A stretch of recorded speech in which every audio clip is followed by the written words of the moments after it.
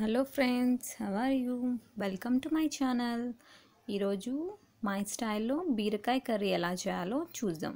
ఒక కప్ బీరకాయలు తీసుకోండి. ఇలా పైన పీల్ చేసుకొని చిన్న చిన్న పీసెస్ చేసి పెట్టుకోండి. ఆనియన్స్ టొమాటో ఇది కొత్తిమీర మసాలా అండి.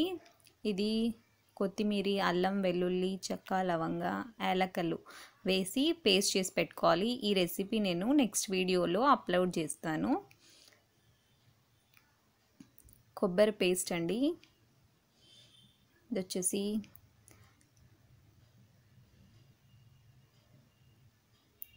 గరం మసాలా పసుపు ఉప్పు కారం ధనియాల పొడి అండి. ఫస్ట్ స్టవ్ ఆన్ చేసుకొని ప్యాన్ పెట్టుకొని ఆయిల్ హీట్ చేసుకోవాలి. ఆయిల్ హీట్ అయిన తర్వాత ఆనియన్స్ వేయాలండి. కట్ చేసుకున్న ఆనియన్స్ వేయాలి.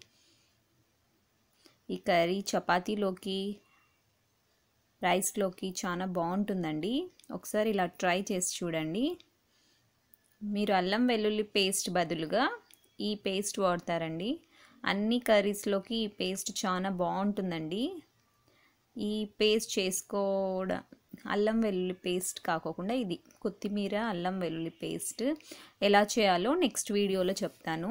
ఇలా అల్లం వెల్లుల్లి పేస్ట్ వేసుకున్న తర్వాత ఆనియన్స్ బ్రౌన్ అయిన తర్వాత అల్లం వెల్లుల్లి పేస్ట్ వేసుకొని తర్వాత బీరకాయలు ఉంటాయి కదండి అది వేసి బాగా కలుపుకొని ఒక టూ మినిట్స్ వరకు అలా ఉంచేసేయాలండి.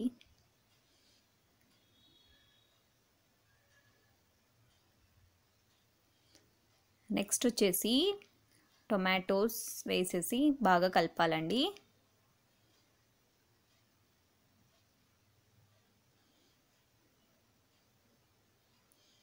నెక్స్ట్ కారం ఉప్పు పసుపు గరం మసాలా ధనియాల పొడి ఇంట్లో చేసుకున్న ధనియాల పొడి వేసేసి బాగా కలిపి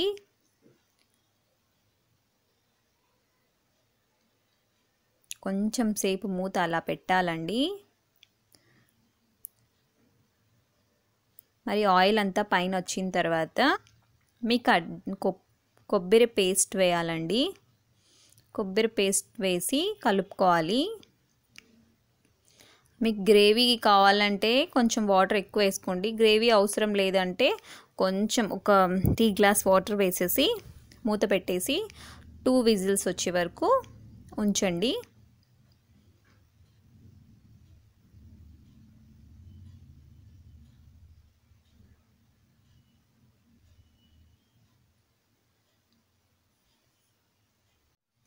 టూ విజిల్స్ వచ్చిన తర్వాత కుక్కర్ చల్లారిన తర్వాత చూద్దాము కర్రీ రెడీ అయిందేమో.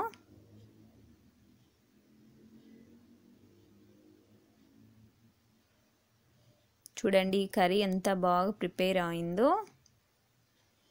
తర్వాత మనము బౌల్లోకి ట్రాన్స్ఫర్ చేసుకోవాలండి. సర్వ్ చేసుకొని కొత్తిమీరతో గార్నిష్ చేసుకుంటే బీరకాయ కర్రీ చాలా టేస్ట్గా ఉంటుంది. ఐ హోప్ ఈ వీడియో మీకు నచ్చింది అనుకుంటున్నాను. నచ్చితే లైక్ చేయండి షేర్ చేయండి సబ్స్క్రైబ్ చేయండి. Thanks for watching bye bye